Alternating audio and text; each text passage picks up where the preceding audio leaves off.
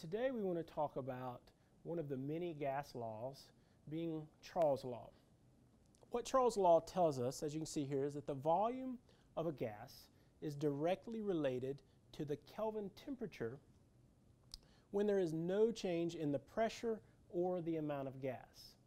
All right, so Charles' law looks at the relationship between volume and temperature of a gas. As you can see here, the equation for Charles' law is V1 over T1 is equal to V2 over T2. V1 and T1 is the volume and temperature of a gas under, let's say, condition number one. V2 and T2 is the volume and temperature of the same gas at condition number two. Whenever you're looking at Charles' law graphically, you see if we graph volume versus temperature, since there is a direct relationship, as your temperature in Kelvin increases, your volume will also increase. Next, let's look at an example of using Charles' law in calculations. All right, so we have an example problem here that we have a sample of neon gas that has a volume of 3.1 liters and a temperature of 12 degrees Celsius. Find the new volume of the gas if the temperature rises to 32 degrees Celsius and the pressure and the amount of gas stays constant. So the first thing you need to do is determine what variables the problem gives to you. So it tells us that this neon gas in condition number one has a volume of 3.1 liters. It also tells us that temperature at condition number one is 12 degrees Celsius. However, as we stated over here, the temperature has to be in Kelvin.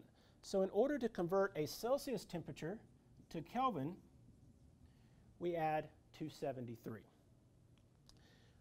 The problem also tells us that we increase the temperature to 32 degrees Celsius. So that is going to be our temperature at condition number two.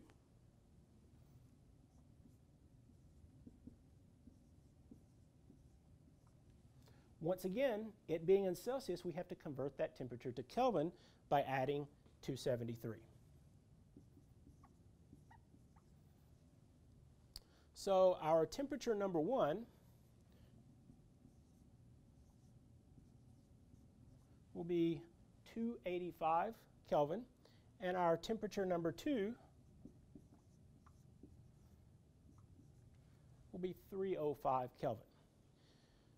The one variable that was not given to us and that we are asked to solve for is our volume at condition number two. In order to solve this problem, we must use the formula for Charles' law. We input each variable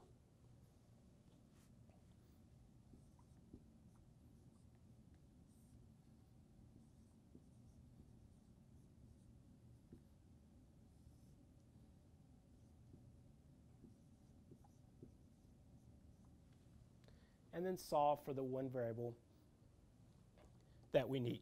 In order to solve for V2, we need to move this 305 Kelvin to the left side of the equal sign. In order to do that, we multiply by the inverse so that our 305 Kelvin will cancel out. What we do to one side of the equal sign, we have to do the other side.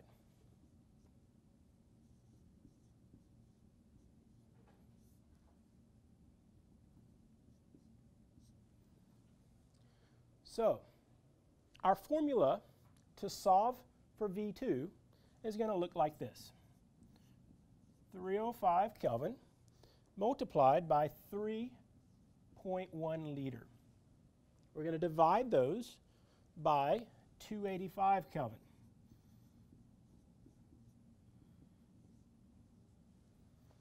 The way that you can check your work and make sure that you're correct is by looking at the, very, the uh, units and which units cancel out. You see here that we have Kelvin on top and on the denominator, which would mean that they would cancel out. The only unit we're left with is liters, and volume is measured in liters. Whenever you calculate this value out, you see that V2 is going to be equal to 3.3 liters.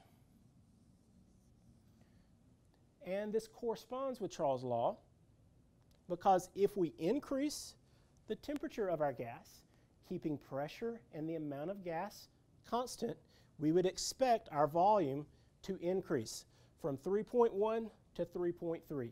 That shows the direct relationship between the volume and temperature of a gas.